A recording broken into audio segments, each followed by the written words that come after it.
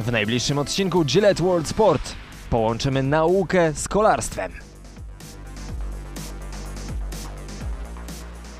Odwiedzimy europejski oddział Australijskiego Instytutu Sportu.